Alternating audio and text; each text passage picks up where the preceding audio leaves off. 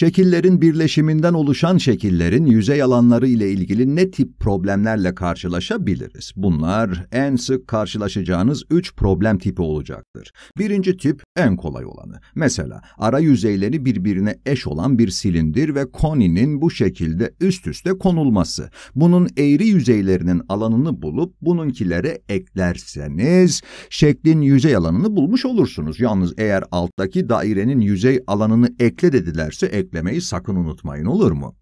Burada da yarı çapları eşit olan şekiller var. Yüzey alanlarını yine ayrı ayrı bulup birbirine eklerseniz bu şeklin alanını da kolayca bulabilirsiniz. Dediğim gibi bu tip problemler son derece kolaydır. Problemleri ufak bir değişiklikle zorlaştırmak da mümkün tabii. Değişiklikten kastım ise buradaki şekil düzgünken bunun hmm, bir oka benzediğini görüyorsunuz değil mi? Peki ikisi arasındaki fark nedir? Yani bu şekli boyamakla bu şekli boyamak arasında nasıl bir fark vardır? Neye dikkat etmelisiniz? Doğru. Buradaki kısma dikkat etmeniz gerekir. Bu şekle alttan bakacak olursak, evet bu açıdan baktığımızı düşünürsek ne görürüz? İki tane daire öyle değil mi? Bu silindirin tabanı olan küçük bir daire ve koninin tabanı olan daha büyük bir daire. Dairelerin yarı çaplarının aynı olmadığını da görüyorsunuz. Aynı şeyi eğer burada yapacak olsaydık sadece bir tane daire görürdük öyle değil mi? Tek bir daire görmemizin sebebi buradaki silindir ve koninin tabanını oluşturan dairelerin yarı çaplarının aynı olması. Ama burada farklı iki tane daire var ve sizce bizim bizim için önemli olan hangisi? Küçük daire mi? Eğer şeklin tabanını hesaba katacaksak evet. Hesaba katmamız gereken bir de buradaki alan var. Hemen işaretliyorum.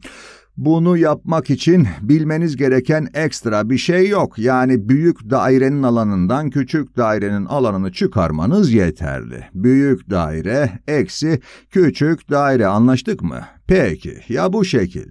İkinci tip problemlerde gördüğünüz gibi şekillerin boyutları eşleşmiyor ve aralarda boşluklar oluşuyor. Bu şekle yukarıdan bakarsak ne görürüz? Üzerinde kubbe olan bir bina. Eğer bu şeklin üzerinden geçen bir uçakta olsak ne görürüz? Alt kısımda bir kare ve üstteki kubbe yerine de bir daire görürüz öyle değil mi? Evet, kubbeye yukarıdan bakarsak bunu bir daire olarak görürüz. Hemen çiziyorum.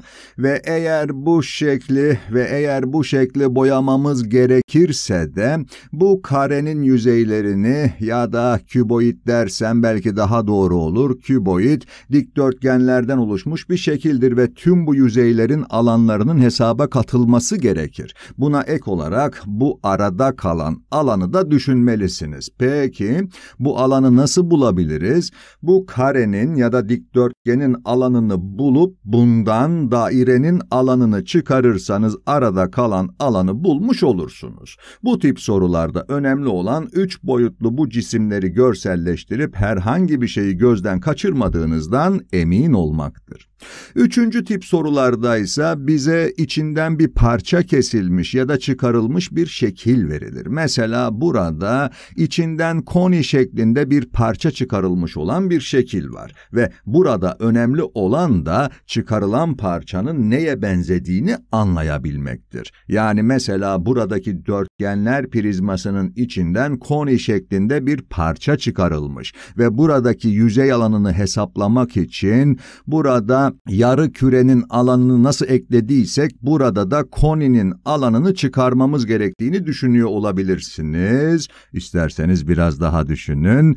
Düşündüğünüzde bunun aslında çok basit bir hata olduğunu anlayacaksınız. Söz konusu olan hacim olsaydı evet son derece haklı olurdunuz. Yani eğer bizden bu şeklin hacmini isteselerdi koninin hacmini çıkarır ve şeklin hacmini bu şekilde bulurduk. Ama burada yüzey alanlarıyla ilgili çalışıyoruz. Mesela eğer bu şekli boyamamız gerekirse koninin bu şekilde dışarıya doğru olmasıyla buradan koni şeklinde bir parça çıkarılmış olması arasında bir fark olur mu? Hayır, olmaz. İki şekilde de konuyu boyamamız gerekir öyle değil mi? Bu yüzden de bu tip problemler şekillerin ara yüzeyleri eşleşiyorsa birinci tip problemlere, eşleşmiyorsa da ikinci tip problemlere benzerler. Demek istediğimi şu şekilde açıklayayım.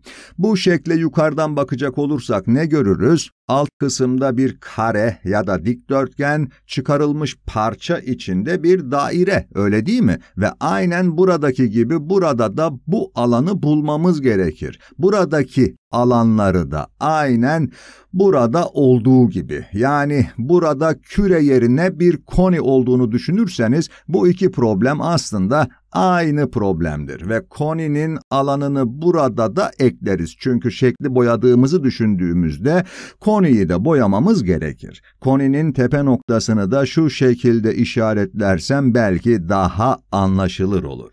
Tekrar ediyorum, koninin şeklin üstünde olmasıyla şekilden koni şeklinde bir parça çıkarılması arasında fark yoktur. Yani biraz kafa karıştırıcı ama umarım anlatabilmişimdir.